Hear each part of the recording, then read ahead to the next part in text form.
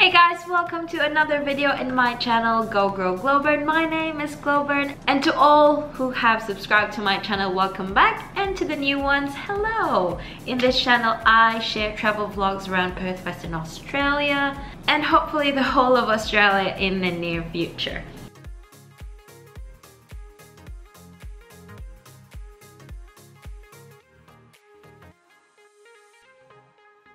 So as you can see in the title, and today's date tomorrow is Valentine's Day or Heart's Day or whatever you want to call it.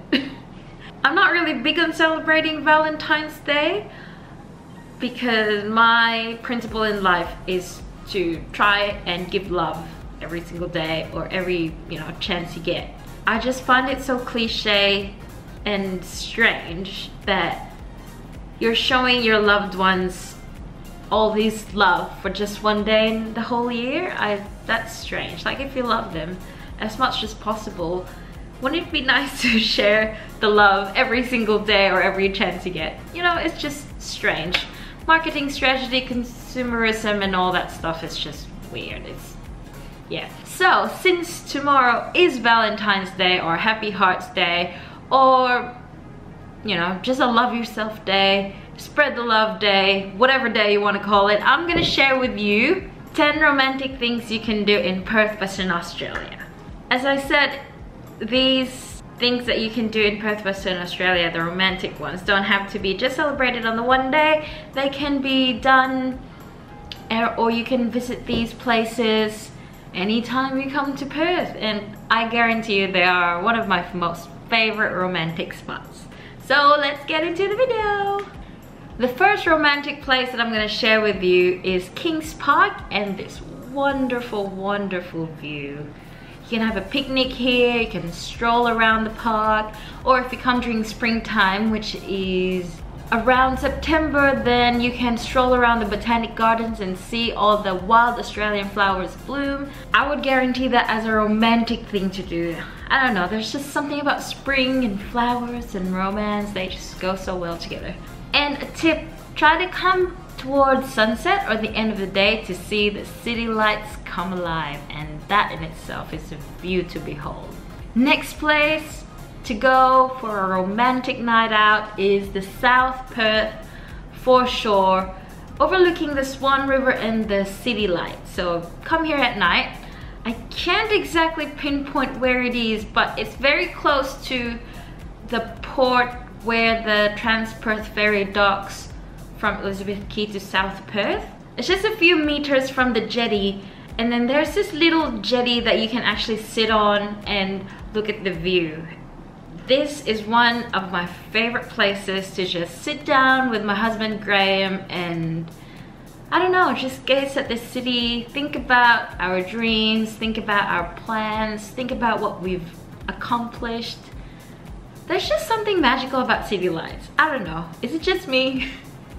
Next romantic thing that you can do is tour the bell tower and purchase a love lock.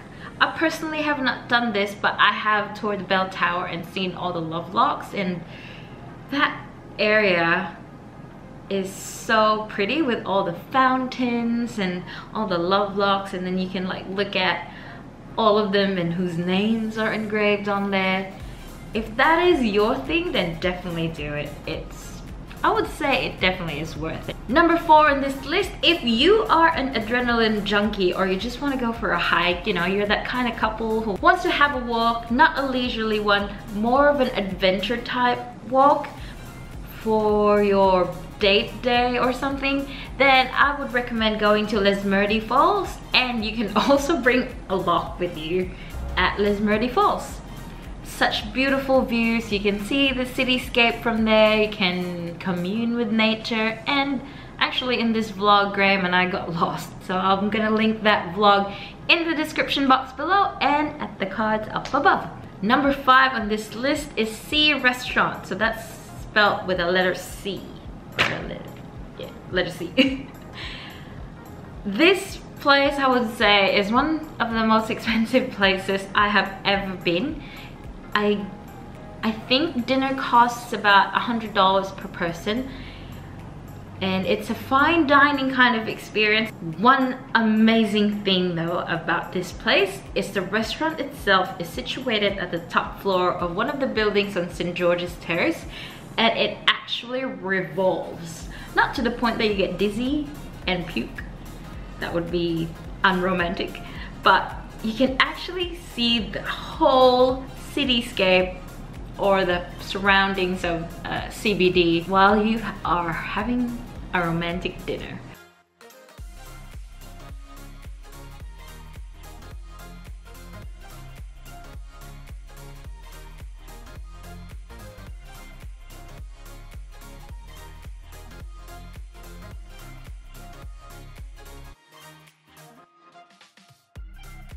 Number six on this list are the beaches of Perth.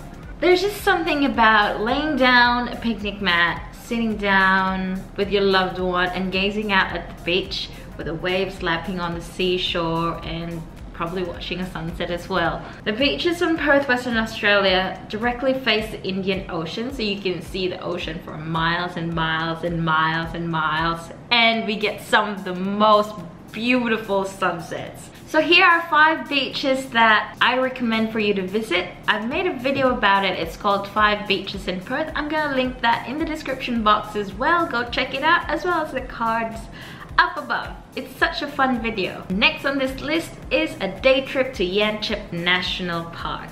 Everyday life tends to strip us sometimes of spending time with our loved ones. So make a day trip out of this. Go to Yanchep National Park.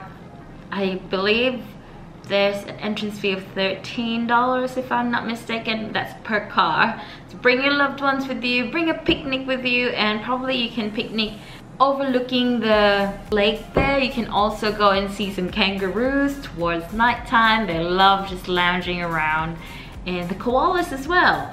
Or if you are a bit adventurous, you can also go on a cave tour. I also did a vlog about this, so please check the description box and the cards up above.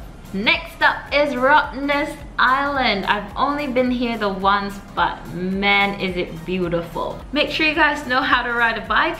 I don't. But for those of you that don't, you can probably go on the bus that I think they sell all day tickets for $25 if I'm not mistaken.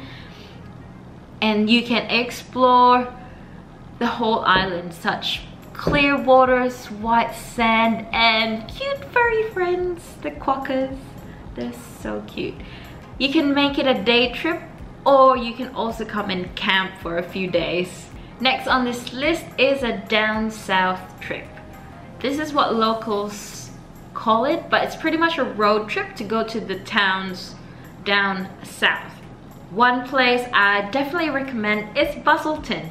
It's such a quaint and beautiful town, but it features one of the longest jetties in the southern hemisphere and the only underwater observatory in the southern hemisphere as well.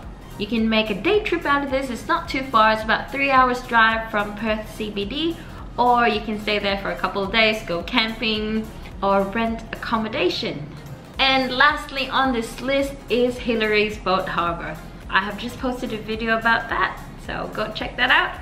There's a lot of scrumptious restaurants that you can have a romantic dinner at and this is also one of my favorite places to go on romantic dinner dates with my husband.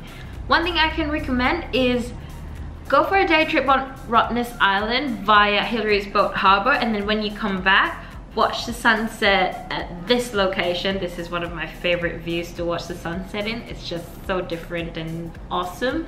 And then probably go back to your accommodation for a quick shower and then come back to Hillary's Boat Harbor for a romantic dinner date. And that's all for today. Thank you so much for watching and I hope this video has helped you plan out that romantic date the next time you come to Perth, Western Australia. Thank you so much for watching once again. Please subscribe for more vlogs about Perth, Western Australia and Australia in general. If you like this video, give it a thumbs up. See you next time. Bye!